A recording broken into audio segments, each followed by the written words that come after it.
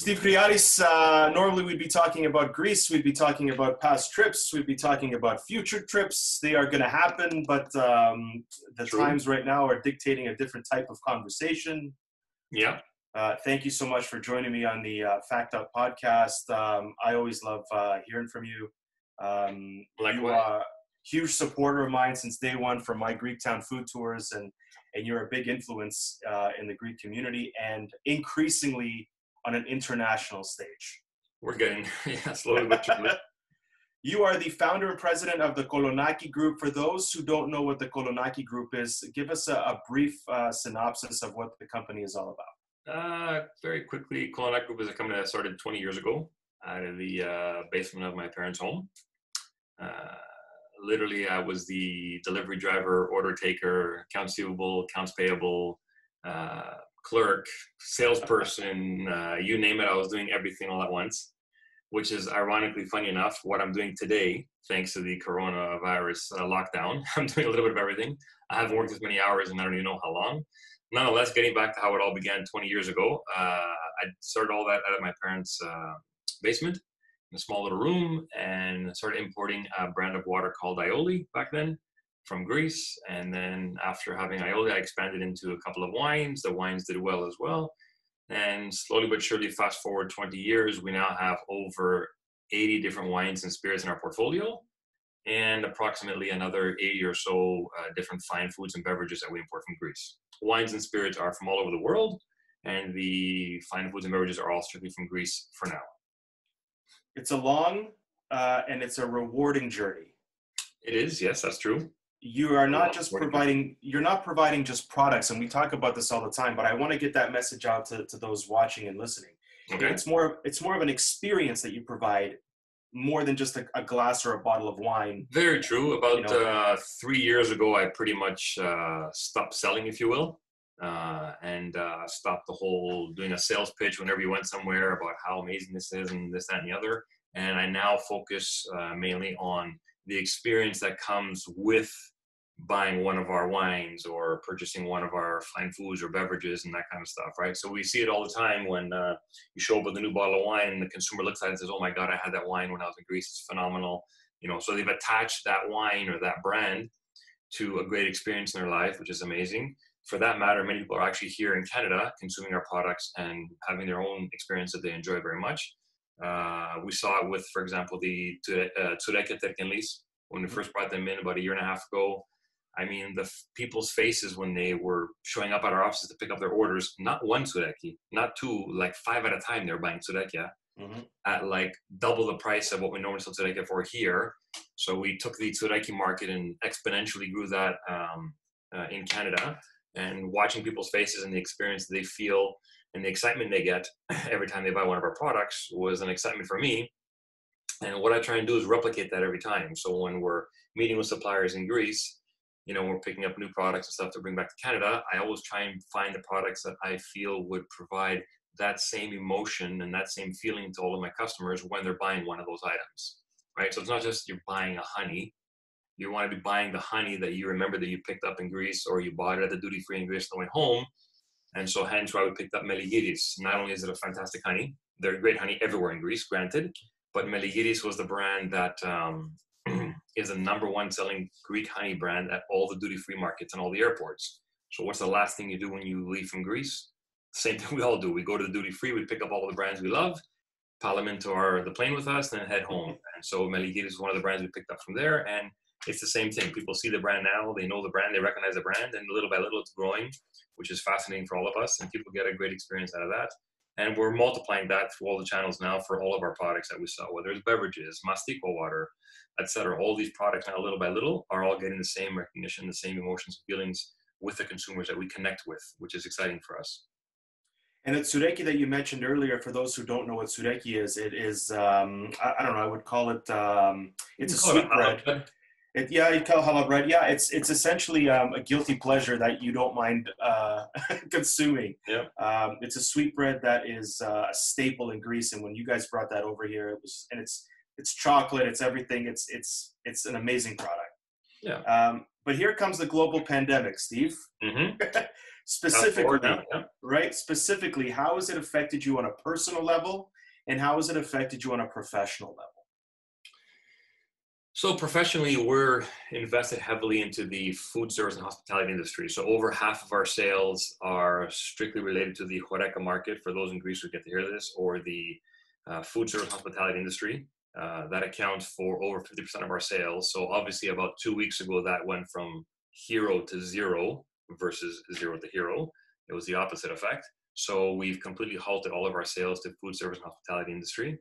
So obviously, with that type of a drop in sales, uh, the existing team we had in place was no longer uh, needed at that moment, if you will. So we had to let go of a lot of staff, people that I have long-term relationships with, uh, personal friends of mine that I work with and stuff, and we had to lay them all off uh, temporarily. That's the idea here, um, until we can get ourselves back on our feet for the food service hospitality side.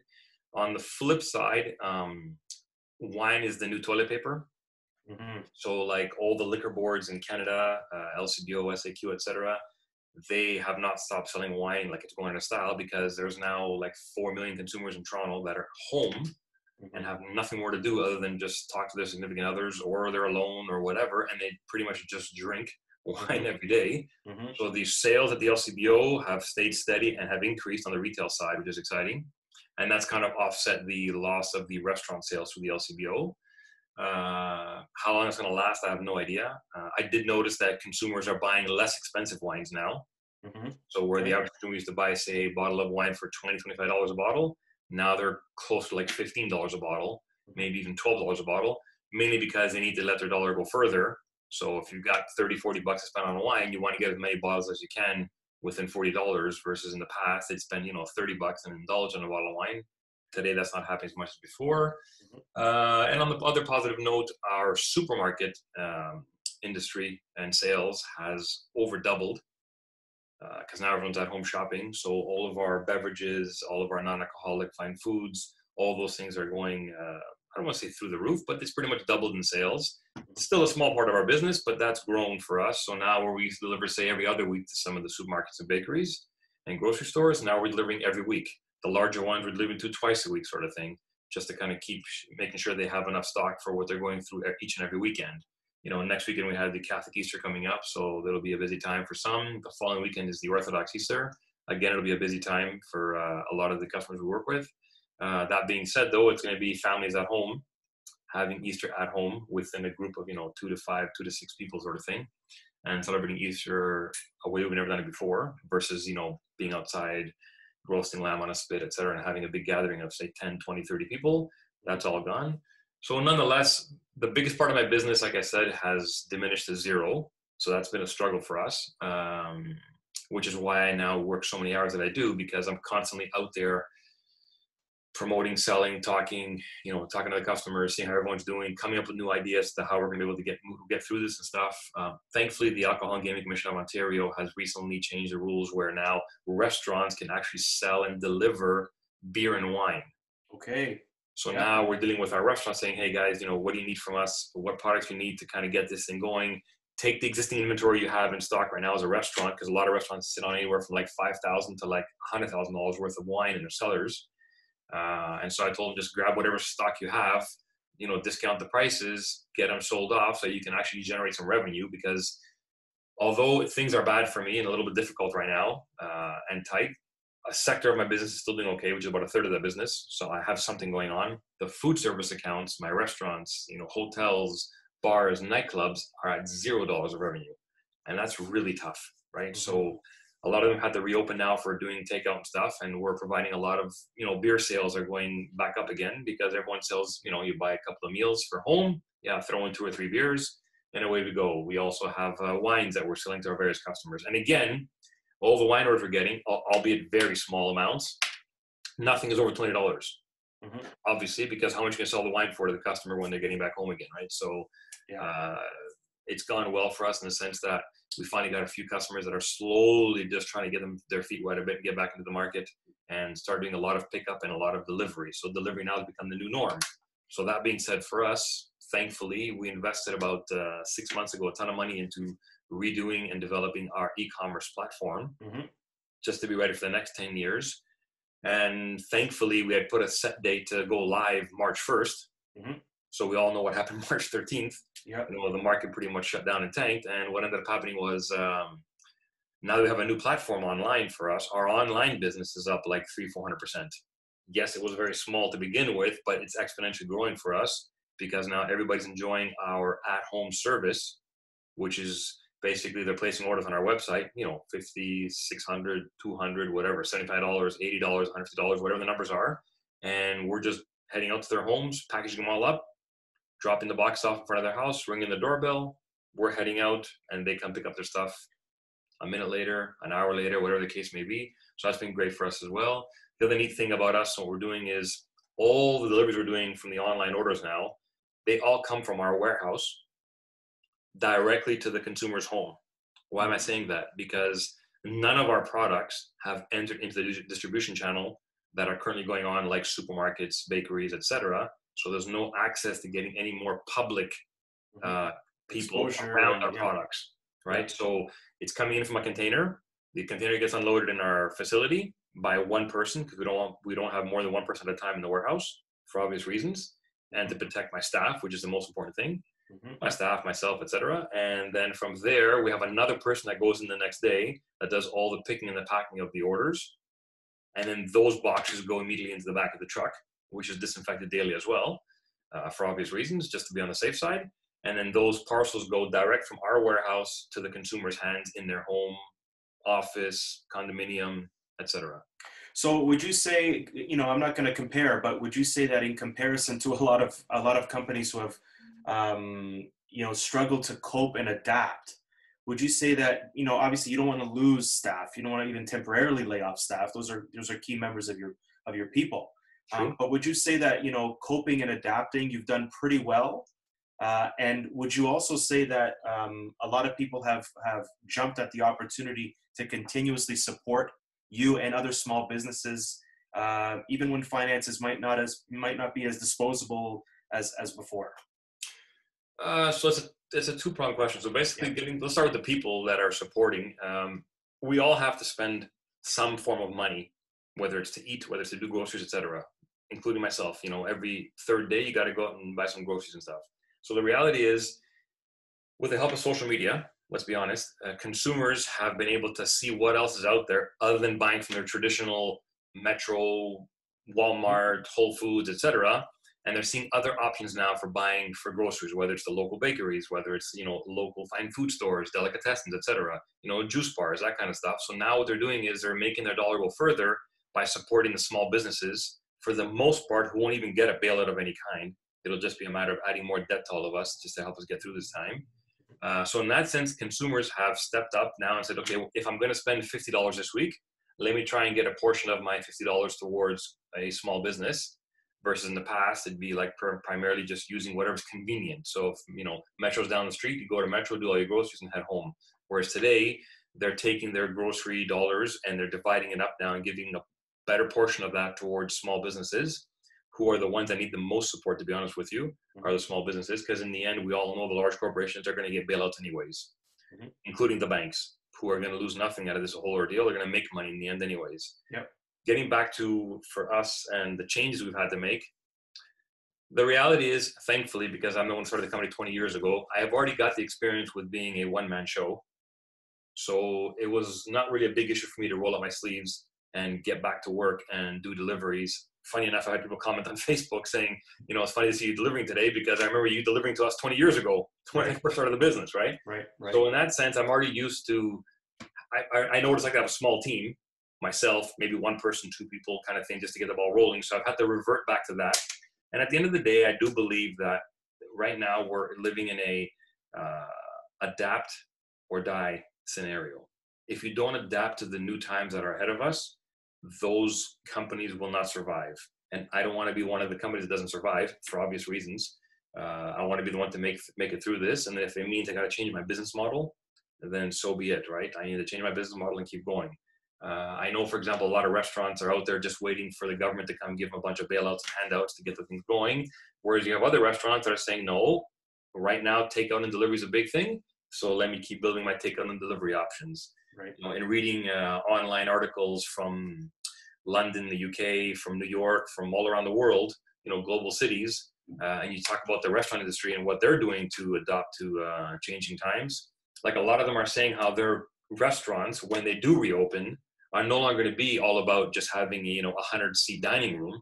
It's going to be more like a 50 seat dining room, and then the other half of the restaurant is going to be all about you know delivery, pickup, uh, catering, uh, all the food delivery companies like Uber Eats, you know, Foodora, and all of them. Mm-hmm. So they're going to have like a whole in and out path, if you will, on half of their restaurant, where that's how the consumers are not going to get their food.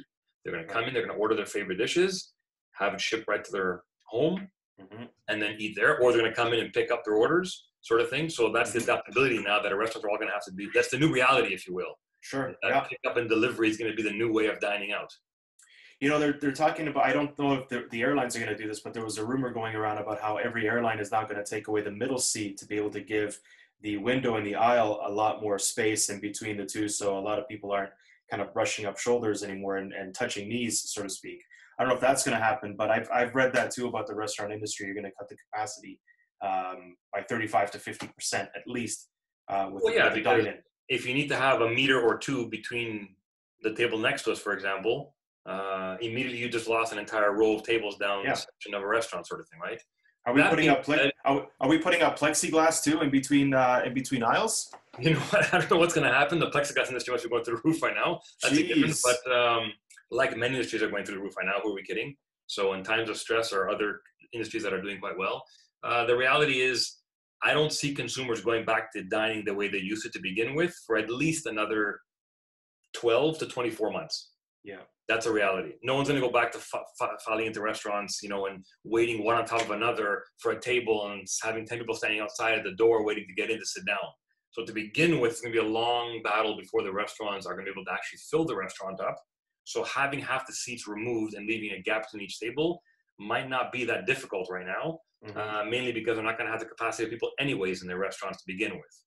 Right. Which is a sad reality. But on the flip side, when they do open things back to a little bit to normal, say in two, three, four months from now, that same restaurant though might have you know 30 40 takeout orders that they weren't used to having before sort of thing right mm-hmm. Mm-hmm. so now it's going to be a huge industry now for those who are going to be in the takeout container world right right you look at new york city everything is takeout in new york city yeah. no one cooks at home in new york city everyone's ordering in or going out to eat so right. you can imagine how big the takeout container industry is going to become in uh, in north america moving forward for the next uh, you know 10 years it's going to be another huge industry where you just buy stuff ready straight home oh yeah now, I, you mentioned this earlier too. It's a it's a reappreciation and a rejuvenation in the small business, uh, as opposed to the. I mean, the bigger businesses like the Domino's, for example. If you want to order a pizza, there's a bunch of Domino's cars going back and forth on every street. How how do you feel people are to um, come out of this um, with respect to where they order food from? Is it going to be a bit more of an appreciation for the small guy, or is it going to be where uh, the small guy potentially, uh, unfortunately, doesn't survive this, and all that's left in the world is Taco Bell, like you know that movie Demolition Man in 1993. Um, you know, I mean, it's I throw a joke there, but it's really funny, not yeah. funny, it's right? Not like I said, actually, and, I, and I'll tell you why it's not that funny. It could become a real reality because right. I, I do know that people want to support the small businesses. That's granted, and and that's very noble of all of us to want to support small businesses. The reality is, when the dust settles, and we have over a million five hundred thousand people going on unemployment. Let's call this a reality now for Canada. Mm-hmm. And you went from making I don't know round numbers three four thousand dollars a month net income. Let's say you had a job somewhere, and now you're just making eighteen hundred two thousand dollars a month. Where is your money going to go further? So yeah, you might want to support small businesses, but if you know Boston Pizza's got a deal on for forty bucks where you get two pizzas, a salad, some breadsticks, and you know compete. pops. You can't compete with that. You can't compete with that, right? Exactly. So what happens is the big companies are able to put out food at lower margins because they have better buying power and they have the volume. Mm-hmm. On the flip side, though, the small businesses, if they can revert back to more of a mom and pop mentality, which is how all of our parents in the industry made money in the 80s and 90s, where it was they were all hands on deck, they were paying all of their bills you know, pretty much COD or within 15 days, and I'll get to that in one second because I have a point to make about that. Uh, then those people will make money because they don't need they don't need to have multiple employees who are just standing around for the most part, are running around doing things they don't need to have them doing anymore. In a, in a large corporation, you know, you have the restaurant manager. Below them is in a Boston Pizza, 250 seats, right? You got a restaurant manager, then you got an assistant manager, then you got a floor manager, then you have a bar manager, then you have a kitchen manager. You know what I mean? All these managers are all making salaries in every location. Mm-hmm. The reality is, even Boston Pizza won't be able to maintain all those uh, employees on their payroll. They're going to need people who are going to be able to cook on a, a short order cook, if you will, on the on the on the line, uh, cooking line, uh, in the front to serve tables. They're going to be the key people now. The reality, and you're going to have counters with like two people taking orders and then preparing all the Uber Eats, uh, you know, packages they have to put out there. They're gonna have to prepare all the pickups and stuff, right? So now you're gonna have a whole section in all these big restaurants that are gonna be just specific to pickup and delivery sort of mm-hmm. thing, right? So mm-hmm. those are the employees that are gonna be most important for these restaurants, I believe, because the dining room won't be that popular as before. Getting into the restaurant industry, though, the biggest challenge we face, and why I think there's going to be a lot of trouble for the food service industry, is the whole model we work in right now is essentially broken. And I'll say why it's broken. It's broken because a restaurant opens for business, you know, Friday morning, they open the doors, consumers come in like we all do. Uh, we go in, we have our dinners. You and I go and have a dinner. We spend 200 bucks on a dinner at a restaurant, no problem at all. 100 bucks, whatever the money is. You put down your cash, you pay your bill, you go home. So the restaurants today are collecting all that revenue on the spot within an hour of the time I sat down or two, whenever your meal's over, they've already got the money and it's already going into their bank account, sort of thing. If they got a credit card, their money's going to go into the bank account, you know, the next day, sort of thing. Mm-hmm. Those same restaurants pay their suppliers 15 to 90 days behind. Right. So what's happening is all the suppliers, whether it's your dishwasher or soap guy, whether it's your food supplier, whether it's your wine supplier, whether it's your beverage supplier, whether it's the vegetable supplier, all these guys, all these companies, like myself included, they essentially are financing the operation of the restaurants who are like now we're in early April, they're now all just finishing paying off their February bills, mm-hmm. assuming things were normal right now, you know, mm-hmm. February into early March sort of thing they're just slowly paying off those bills. And you think to yourself, okay, wait a minute, you've already collected all the money for everything I sent you in the last five, six weeks. Every single day that you're selling everything, yet we're still struggling to get paid for stuff that is a month old. Right. You know, five weeks old, six weeks old. So where'd all the cash flow go? So what what I've realized is that restaurants run on less than 30 days of cash flow within their bank. Hmm. So it's a very tight margin industry. Mm-hmm. That's the fact. So mm-hmm. when you're running on less than 30 days of cash flow, and you have a bad week at a restaurant for whatever reason, snowstorm, whatever, you had one bad week out of the four weeks, there goes your entire month sort of thing. Yeah. So, uh, everything gets pushed back because they don't have the cash flow to sustain what they're doing. Right. So that puts us into a two prong problem now moving forward when the coronavirus settles down, which I think it will in the next month or so, uh, and restaurants will reopen. The first problem is going to be that the restaurants are going to have no cash flow right? So it's going to be who relies on who now to keep themselves afloat. And the second problem is the suppliers. Like if you think about, you know, Sysco and GFS and how many billions a year they supply just in Canada alone to restaurants, let alone there's another chain of big distributors as well. If we think Sysco and GFS are going to provide terms for the restaurants to operate after coronavirus, we're greatly mistaken. Those guys are going to become so tight on receivables that they're not going to give terms to anybody anymore. And if yeah. they do, you're signing for it personally. That's the reality. So now that becomes an even more difficult cash crunch for all the restaurants because they can't get the terms they used to have from anybody for that matter because there's just simply no money in the system. The food service industry worked only because there was billions of dollars in the food service industry being turned over every single day. Hotels, restaurants, lobby bars, nightclubs, you know, money being spent like crazy. So that money kept turning itself over. So everybody's able to, su- to survive and make money. Mm-hmm. In three months from now, that's all gone. And that's going to be gone globally. And that's why I believe there'll be a global shift now as to how we eat out, where we eat out. You know, mm-hmm. the rich are going to become uber rich after this. That's a mm-hmm. fact. They're going to become filthy rich when this is all said and done. The middle class is now shrunk. They're essentially going to be gone. And then it'll be the rest of the working class that'll be out there just working to survive you know, week to week, month to month. Mm-hmm. You mentioned the government earlier as well. Mm-hmm. Um, is it fair? Is it enough? What's missing from their kind of small business kind of game plan and their monthly kind of EI distribution of funds? Well, they're going to distribute some funds to the staff, which is a great help, obviously. There's a $40,000 loan available for those who want to get the loan interest free until January 2021. Um, for the most part, what's happening here, from what I've seen, is that let's assume everybody gets this $40,000 loan. Wonderful. Y'all get a $40,000 loan. There's no interest on that loan until January. Great. By then, you'll barely even be afloat, to be honest with you, as a restaurant or any business for that matter, because this is going to take months, if not years, to recuperate from this mess. Mm-hmm. You're going to have to start paying, you know, the the actual loan itself in January, and then there'll be interest added to that in January as well. And what's going to happen is you've now got a forty thousand dollar cap on top of your head. So when you finally get yourself to stand up on your two feet, you're going to have to start paying into a loan at whatever the amount of money is going to be, thousand dollars a month, whatever the payment's going to be for that loan, sort of thing. And so ultimately, no matter what support you're getting, it's all got to get paid back anyways, mm-hmm. right? So it's not a bailout that we're getting; we're getting lent money. Right. You're getting more debt. You're getting, more, getting debt. more debt. You're not getting Whereas, grants. You're getting loans. Exactly. Whereas if you look at all the big corporations in Canada, like the banks, every time there's trouble, what happens? They get bailout money. Bailout money that they don't pay back. So why does a company that already makes billions get to get more billions in bailout funds? Please explain this to me. Yeah, same thing with airlines. Same thing with the, the same thing with airlines. Thing, Everybody yeah. shut down everything, and they're just running up a tally right now. They're going to take the whole bill. They're going to walk back to Trudeau and say, "Here's our bills. Here's what we need for us to stay afloat." So if you want our airlines to go back to normal, this is how many billions we need from you. And what's going to happen? Trudeau's going to just hand over all the money, no questions asked. Right. And it's not as if even the residents of Canada even have a say in this. Yeah, well, it's our money, any of this. and we have no say in it. And yeah. it's our money; we have no say in this. Exactly. So all the big companies, airlines, banks, etc., will go back to normal. Their books by next year are going to be just fine, and they will have made money, if anything.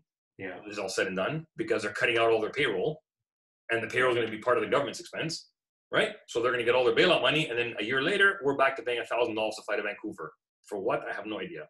Right. To remove the middle seats, we're going to be paying two thousand dollars right out of Vancouver when all the middle seats are gone. Air Canada today with this one. Yeah, and that's that's the that's the thing. If if if a lot of people uh, presumably will stop traveling abroad and prefer more staycations. I don't think are, a choice. No one prefers vacation. We don't right. Right. So are those prices in turn going to be attractive enough for people to travel to Vancouver for 400 bucks? the same maybe price that you get on sale if you went from Toronto to Paris, Toronto to Madrid, Toronto Athens even. Um, is it going to be more attractive? Is it going to be less attractive? You know, do airlines care to make it more attractive? I don't think they care to make it any more attractive. Wherever they can, just keep jacking the price on everything, anyways. I, I, still can't understand how, when you go to Greece, for example, you want to fly to another destination in Greece, you can spend 99 euros, get on a plane, and leave. Here, you want to fly to Montreal, and they're charging you like $400 for a yeah. one-hour flight. It's like, yeah. are you serious right now? So the pricing to begin with in Canada is overinflated when it comes to flying anywhere, whether it's within Canada, the U.S., uh, Greece, etc. Um, Europe, I should say, not even Greece for that matter. So what's going to happen with the airline industry moving forward? I have no idea. I do believe there will be deals. Mm-hmm. That's for certain for every destination in the world, and those deals will simply come because I believe that the airlines need to fill the seats. Mm-hmm. That's the bottom line. So once the airplane goes up in the air, there's already going to be a fixed cost for them, for their staff, the fuel, landing fees, takeoff fees, etc. So they need to cover those fees. So at that point, any revenue will do to get bodies into the plane. So there will be lower prices, I believe, to get bodies into that plane, just to get that plane as full as possible leaving. Right, they're not doing you any favors. They just want to get their their seats filled. they will never do anybody a consumer favor. That's for sure. Well, we touched on your new website that came in right before everything kind of crashed. E-commerce is up and going. You have uh, wine tours, if I understand correctly, uh, shaping up in Greece over the next. Uh, it was scheduled to. I correct me if I'm wrong. Scheduled to start up this summer. Yeah, it was this fall, summer, fall. We wanted to do like right. probably around harvest, which is in you know August, September. We wanted to start some uh, Greek wine tours, and uh, we're also starting on our website, which I can let your viewers all this know this now. Mm-hmm. We're going to be doing a um, enotourism and mm-hmm. agrotourism section on our website. Mm-hmm. Uh, so people will be able to sign up and have different tours of Greece where we visit different farms, different uh, vineyards, different wineries, different producers of like herbs and spices and whether it could be feta, it could be wines, could be spirits, could be a little bit of everything sort of thing. And then you get to meet the producers and talk to the people that are actually producing all the products that we make and sell. uh, and then at the same time do a whole tour of various parts of Greece where you get to enjoy, you know, some beautiful uh, areas that you've never seen before, sort of thing, all within a seven to ten day window uh, while traveling out to Greece. So that's going to be coming out for us. We're hoping for launch this fall. Obviously, now that's been pushed back to 2021. Mm-hmm. It's fine. It is what it is. More well, the whole the, the whole experience uh, sounds terrible, Steve. Touring Greece for 10 to 10, you know, 10 days. That's amazing. Well, uh, I will tell you. Sorry, go ahead. No, no, please do. I was just saying that uh, people always say to me, you know, what do you do for a living? I said, oh, I, you know, I sell wine for a living and spirits and fine foods and beverages. Oh, you sell wine for a living? I'm like, yeah. You could have the best job in the world. You drink wine all day long. I would say, yeah, I got a case in the back. Want to go drink some wine right now? Sort of thing. And I, t- and I joke because the reality is I do love my job from say five to nine. You know, the, the casual side of the wine industry is amazing because you meet people, you go to restaurants, you do wine tastings, you sit down and converse over a bottle of wine. You know, it's, it's a great time. But the reality is, the nine to five of the wine industry, the business of alcohol, is extremely difficult. Uh, you know, it's very tiring after a while. You need a lot of patience and a lot of money, to be honest with you, to get the ball rolling. Uh, and the reality is, you need to get yourself past that stage and then get to the fun stuff. You know, and the reality is, I think we're at a stage now where we're starting to enjoy more of what we do.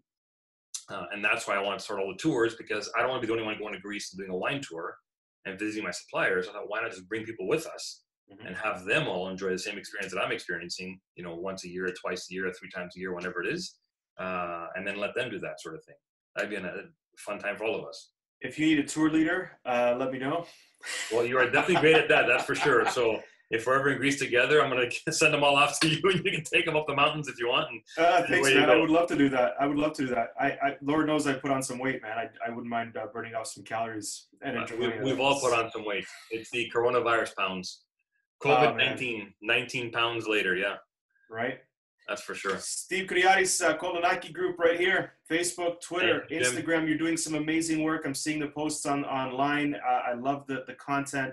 Uh, I love your story. It's inspirational. And uh, you, when sir. this is all said and done, buddy, I wish you uh, well. It's still to this, you know, to this moment and, and down the road. I wish you nothing but the best in health, happiness, and success, my friend. And Likewise, uh, I hope you. to catch up with you soon in person. And we will be doing that uh, over a bottle of wine very soon. I promise. Absolutely. Um, Thank you so much for being on the uh, Fact Up podcast. We'll chat soon. You got it. Take care. Enjoy See the day. Bye bye.